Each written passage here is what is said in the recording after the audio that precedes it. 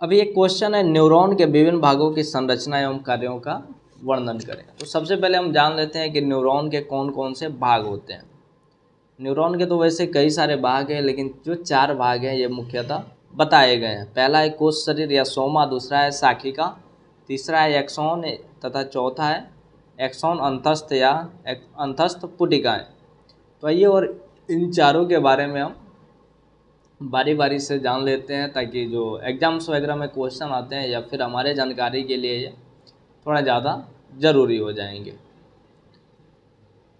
पहला है कोष शरीर। कोष शरीर जिसे सोमा भी कहा जाता है। साइपो साइ, साइटोप्लाज्म का एक ऐसा क्षेत्र होता है जो केंद्रक के चारों ओर होता है।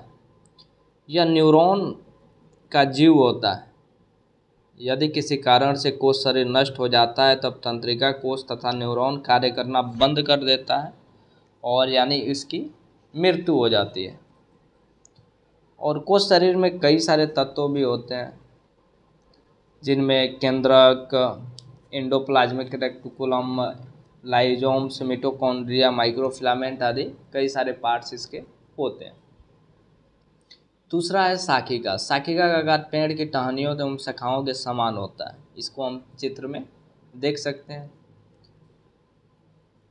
शाखिकाओं की संख्या एक न्यूरॉन में, दूसरे न्यूरॉन से भिन्न होता है।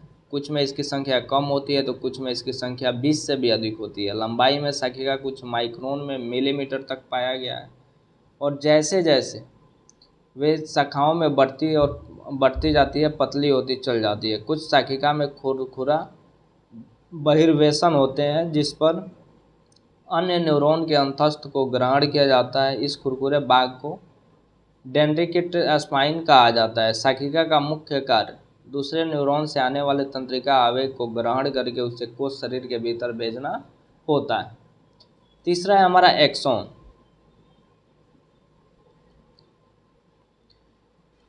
न्यूरॉन के उस के उस भाग को एक्सोन कहा जाता है, जो कोष शरीर से थोड़ी दूर हटकर प्रारंभ होता है। आगे की ओर लंबवत, बड़ा हुआ दिखाई देता है। इस दूरी को एक्सोन टीला कहा जाता है। तंत्रिका आवेग का उद्भव उद्भव, यही उद्भव बिंदु, यही टीला होता है। प्रत्येक शाखिका में एक एक्सॉन होता है, जिसकी लंबाई कुछ माइक्रोन में, कुछ कोशिकाओं में एक मीटर से भी अधिक होता है। अधिकतर एक्सॉन की कोशिकाएँ होती है, जिन्हें कोलेट्रल कहा जाता है। एक्सॉन में के अंत में तथा इसके कोलेटरल पर कुछ महीम एवं बारीक अंतस्थ होते हैं, जिन्हें टेलियोन्ड्रिया कहा जाता है। और जो सबसे बड़ी चीज़ है, वो है एक्सॉन में अंतस्थ पुजिकाएँ प्रारंभ होने तक उसका व्यास एक समान होता है। जैसे शाखिका अपने अंतिम बिंदु पर पहुँचता है, उसका व्यास पतला होता चला जाता है। चौथा है अंतस्थ पुटिकाएँ प्रत्येक एक्सॉन के अंतिम छोर पर कुछ पुटिकाएँ होती है, जिन्हें अंतस्थ पुटिकाएँ या एक्सॉन अंतस्थ कहा जाता है। इसमें कुछ तरल पदार्थ निकलते हैं, जिन्हें हम न्यूरो कहा जाता है।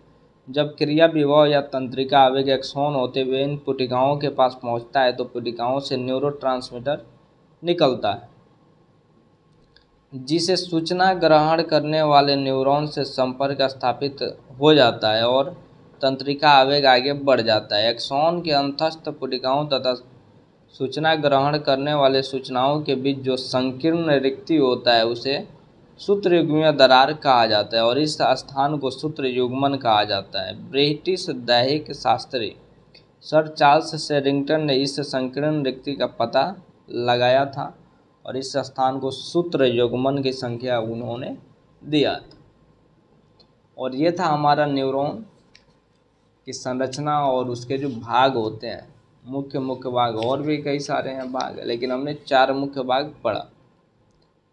एक है नोड ऑफ़ रेनवेयर के अंदर कोश अंतस्थ हो गया, एक्सॉन अंतस्थ हो गया रेनवेयर हो गया, एक्सॉन टीला हो गया।